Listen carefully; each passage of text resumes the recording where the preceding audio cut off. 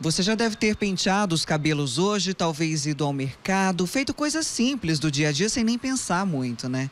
Agora já imaginou se cansar até escovando os dentes? A Lilian passou metade da vida se sentindo fraca para fazer tudo. E não era preguiça, era insuficiência cardíaca. O que salvou essa jovem cheia de vontade de viver foi um coração novo que ela recebeu em setembro de 2017. Gente, eu tô tão feliz de vocês poderem conhecer a história da Lilian. Eu conheci a Lilian em fevereiro do ano passado e ela me emocionou muito. A gente estava gravando uma reportagem e à medida que ela me contava sobre a vida dela, assim, eu ficava segurando o choro, porque ela recebeu um coração novo, uma nova chance de viver, foi parar nas Olimpíadas dos Transplantados em Londres.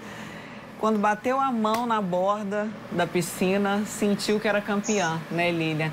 O transplante realmente marcou um novo aniversário na sua vida, né? Eu usava cada momento de dificuldade na minha vida em forma de braçada. Então eu dava uma braçada para cada obstáculo que eu superei na minha vida.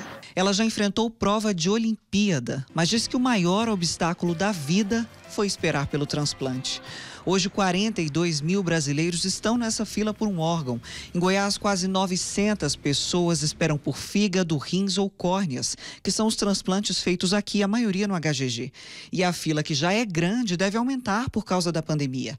É que o número de doadores de órgãos caiu 30% no país nos últimos meses. Nós tivemos aí nesse trimestre uma queda de 30% no número de doadores de órgãos no número de transplantes, nós fomos na contramão dos outros estados. Nós conseguimos aumentar os números mesmo com a pandemia. O Ciro conseguiu rins novos no HGG há dois meses. Estou me sentindo muito bem.